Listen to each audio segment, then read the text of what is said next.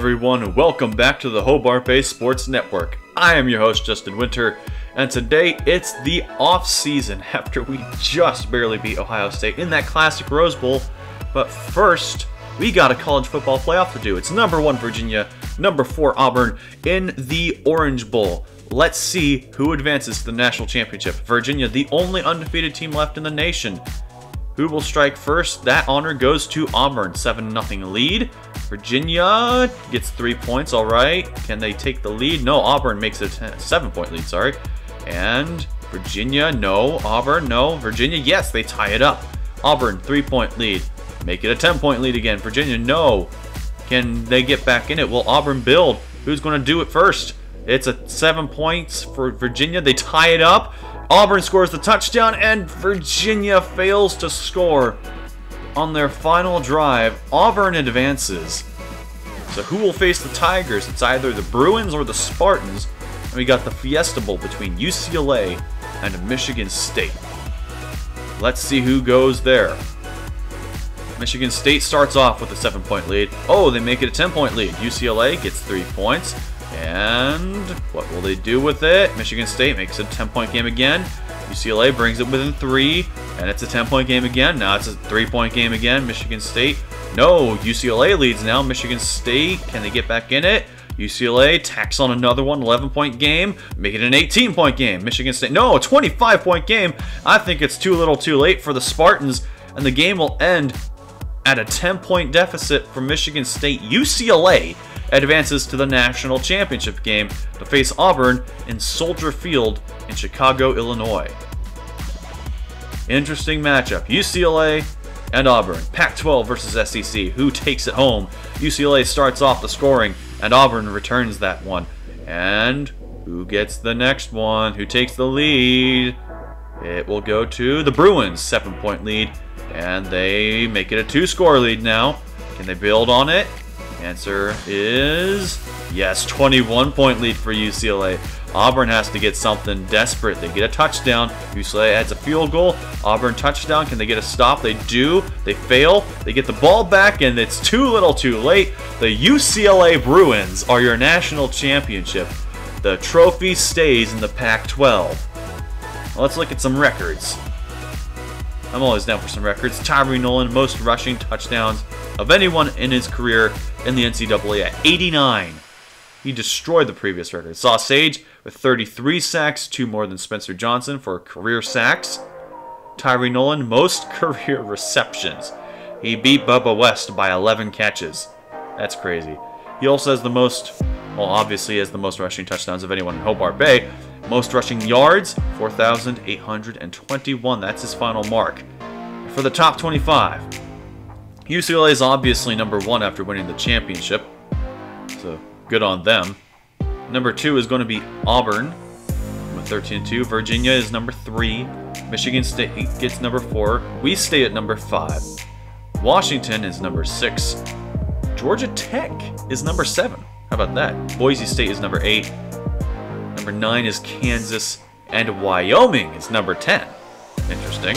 11 is USC. 12 is LSU, 13 is Cincinnati, 14 is Navy, 15 is UCF, how about that? 16 is Ohio State, 17 is Boston College, 18 is Clemson, they went 8 and 5. 19 is Northwestern, 20 is Stanford, Colorado is number 21, Texas is number 22, Michigan is number 23, Texas State is number 24, and Ole Miss rounds us out at number 25. For All-Americans, Ephatha DeCapolis gets first team All-American quarterback. He was a Heisman contender. And then obviously, you know, other guys got it. But for us, we had Dane Burns, free safety, for first team All-American. Normally we have more than that. He's the only first team All-American on our team. Second team, we got Tyree Nolan. It's a long shot from his Heisman days, but I guess there's nothing you can do. Probably should have gone last year. Saw Sage at left end. That's good. Continuing the tradition of a strong D-line. And then Oscar McGee, he gets second team All-American in his final year. I think this was the only year he started. Also got Seth Adams and Jacoby Jackson. So getting more defensive guys. We like that. And, oh, we got Jeff Walker as well. He's a sophomore. He's coming in big. And no one else on the second team All-American list. For freshmen, Bentley Zwiebel, of course. He's been he's been fantastic all year. Don't forget Steven Scott at center. That's right, Steven Scott at center. He's balling out. Aiden Mann from Nebraska. He was a custom recruit we pursued, but yeah, look at that. He's doing well. I'm glad for him. And then Carl Reynolds at defensive tackle. That's good. Who else? What of Washington and Boise State here? Then Drake Scott. So both of the Scott brothers get first team. Well, uh, not first team. They get freshman All-American honors. And uh, yeah, I think we're going to have a pretty good team in the future. It's time to go over the stats of the season. Glessner ends 8th in the nation in passing yards with 3,347. We go with rushing. Tyree Nolan 54th, almost 1,200. No one on the receiving list. Tackles, Jeff Walker, Oscar McGee, Dane Burns. All three of them, top three in the nation. We always leave in that. Sausage, half a sack. Half a sack behind Foster. Oh, that burns. On interceptions, yeah, we never have someone who's in that contention, if we're being honest. We, we, just don't have a ball hawk. And then Otis Spielberg, a 61 yarder, longer than anyone else got this season. Now for the rest of the team, let's go to passing now, shall we? Glessner, he went 154 for 246, 3,347 yards, 20 touchdowns to 21 interceptions. Oh, he's even worse than Strupinski was. Even more like Jameis Winston. But he's good. I feel like maybe we failed him on coaching, honestly. He took 32 sacks. Yeah. Brett Stone only took 3 sacks. That's good for him. He wound up going 23 for 33, 361 yards, 6 touchdowns, 2, 1 interception. That's pretty good. It's pretty good.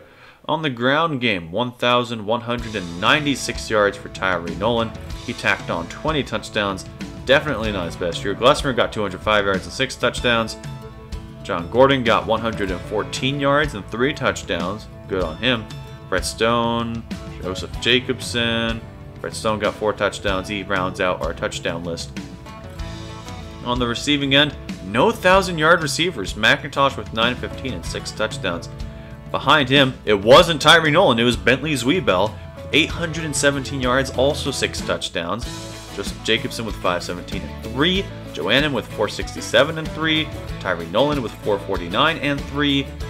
Ken Anderson with 284 and two. Gordon Jenkins with 120 and 2. Jamie Ross with 73 and 1. We saw that one in the Cal game. And the rest of these guys, just insignificant amounts, honestly. On tackles, obviously, it's going to be Jeff Walker and Dane Burns and Oscar McGee. All of them leading in tackles, especially solo tackles in the nation. I mean, if they led the nation, they're going to lead the team. And that's just, just how it is. 57, 55, not sure if I should be going with regular or assisted tackles. Most tackles for loss, Dane Burns, the free safety. However that works. 24 tackles for loss. Most sacks goes to Sausage. Second in the nation, only half, half a sack behind. Lots of good sack numbers here too. Jeff Walker got six, four.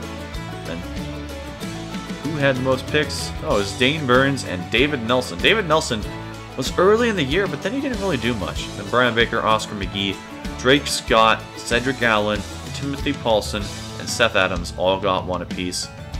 I don't know if that's more or less than normal. Can't tell. Now we go to kicking side, if thing will ever let us. There we go. Otis Spielberg, in his senior year, he went 14 for 15. That's 93%. Long of 61. He missed an extra point? That, what? I don't remember that ever happening. Huh. He went 4 for 4. He made all of them inside of 30. He made the one between 30 and 40. He made all four between 40 and 50.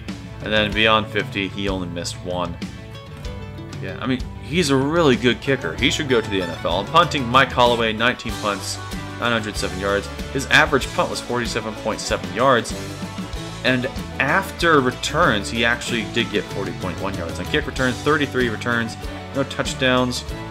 McIntosh had a good year, no, just but just no touchdowns. It's uh, kind of underwhelming. Neither on the punt return game either. Not a whole lot.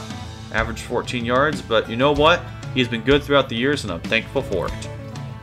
Well, that means we advance to the off-season proper. We're done with stats. We're done with finding out the playoff, and we get a contract extension. Big shocker. Look at that. Been rising up, a little bit of a fall recently, but you know what? We've still had some great years, even if we haven't won championships. That's going to bring us to the next stage. It's players leaving. This one always stings. I mean, always stings. All right. First up, Andrew Glessner is going to the NFL draft. First round projection. Joseph Jacobson, also a first round projection. That's interesting. Dane Burns, a second rounder. Seth Adams, it looks like, is also going. He's a second rounder, only a junior. That's good on him. Blair Wilcox, the punter, who would start next year, is going to leave. And he's seven feet tall. I forgot about that. Paulson is going to stay. McIntosh is going. He's a projected second rounder. The size isn't helping. Nolan is a fourth rounder. Randall Williams is a fourth rounder. I don't know how much I called his name. And Cedric Allen, he's a sixth rounder. And then Jamie Ross is graduating. Jacoby Jackson isn't going? Oh, man. That's rough. Oscar McGee, he's not going. Sauce Sage isn't going? Oh, no. Oh, Spielberg isn't. We have some guys who I think really should go to the draft. They really should be. Jojo McIntosh. Let's review his career. Only 95 career catches. Would have expected more. He got two returner of the years, nearly 3,000 yards receiving. Granted, his first year here was solely on return duty. 24 touchdowns, long of 89, had a pretty good career here. Pretty good career. Only six drop passes, none of them in his final year. So that's pretty good. Jojo McIntosh, a legend of a receiver. Thankful for him. Great returner, too. But Tyree Nolan. This guy is arguably the greatest guy in Hobart Bay history, winning multiple Doak Walkers and Walter Camps. He won a Maxwell, and he also won the Heisman in his junior year. The dude wound up getting almost 5,000 yards, 4,821 to be exact, averaging over 5 yards a carry. He got 89 touchdowns, more than anyone else in college football history. His longest run was 72 yards in his sophomore year. He got almost 1,000 yards after his first contact and 34 rushes of more than 20 yards. 16 broken tackles, only 3 fumbles, none of them in his final year. That was good. But aside from his fantastic rushing, he was also a great receiver. He ended with 2,462 receiving yards. I'm pretty sure that's more than Joseph Jacobson got. 27 rushing touchdowns and a long catch of 75. This guy was a beast. He was going all out every single game. He's just an athlete. Quite frankly, I'm surprised he's not higher in the draft just because of his versatility. The man's a monster. Definitely in the running for best Hobart Bay 1 to ever put on the uniform. I gotta say, with over 7,000 total yards, he, he would earn that one. Now, it's our annual reflection that we do not indeed have transfer players, so let's just move on to our recruiting. Shannon Flowers, we could use an extra quarterback. He'll sit behind Brett Stone, though, so I mean, it won't be much for him. And then Guy Lott, I guess we need a kicker now, so we're going to put 2,000 on him. And then Tony Roberts, we'll just slap the rest on him because why not? See if we can rob UCLA of a four star. And now we're advancing on to signing day. We got Shane Flower or Shannon Flowers and Tony Roberts. Guy didn't do anything. Did he commit at all? He didn't commit at all. Okay, I'm going to fix that. We're going to get a walk on, and I'm going to make him Guy because he should have committed here. All right, I'm going to fix that. We have Shannon Flowers as a quarterback. That's nice. Tony Roberts at wide receiver. TJ Jones at middle linebacker. Corey Bailey at free safety. TJ Edwards at free safety as well. Austin Day at middle linebacker. Randy Marquardt at running back. Chris Maxey at defensive end. Brian Fitzpatrick, another middle linebacker. Dominic Anderson, outside linebacker. Brandon Butler, another outside linebacker. Defensive end, Nick Washington. Titus Walden, also a defensive end. Nick Miller, corner. Oh my goodness. Defensive tackle Dale Ronson Kirkin. And athlete Terry Johnson.